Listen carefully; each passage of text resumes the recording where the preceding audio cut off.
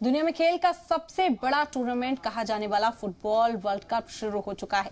Qatar में कल एक रंगारंग ओपनिंग सेरेमनी में इसका आगाज़ हुआ, जिसके बाद इस वर्ल्ड कप का पहला मैच भी खेला गया, जिसमें मेजबान कतर को इक्वाडोर ने दो सिफर से हरा दिया।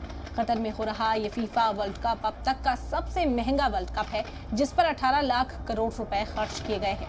उनतीस दिन तक चलने वाले इस वर्ल्ड कप में 32 टीमें हिस्सा ले रही हैं और 18 दिसंबर को इसका फाइनल मुकाबला खेला जाएगा।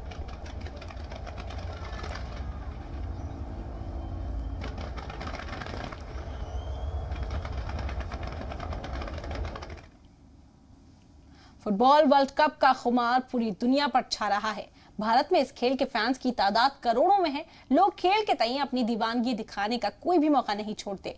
ऐसी ही कुछ कहानियाँ हम आपके लिए लेकर आए हैं इस रिपोर्ट में।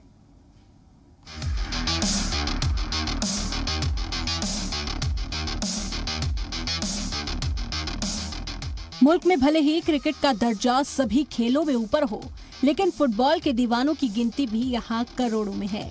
और बात जब फीफा वर्ल्ड कप की होती है तो ये दीवानगी नए लेवल पर पहुँच जाती है। ऐसी ही दीवानगी केरल के कुछ फैंस में दिखाई दी। केरल के इस घर को देखिए। मुंडा कमगल का ये घर सत्रह लोगों ने मिलकर खरीदा है। इसे खरीदने में तेईस लाख रुपए खर्च कर दिए गए। घर को खरीदने के बाद इन सभी फैंस ने घर की दीवार को स्टार फुटबॉलर्स की पेंटिंग में रंग दिया।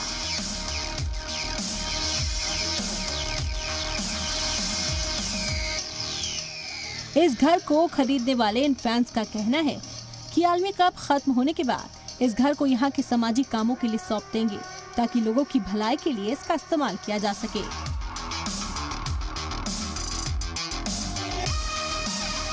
पद्मश्री फातेह सुदर्शन पटनायक ने भी अपनी कारीगरी के ज़रिए वर्ल्ड कप में हिस्सा ले रही टीमों के लिए नेक ख्वाहिशात पेश की।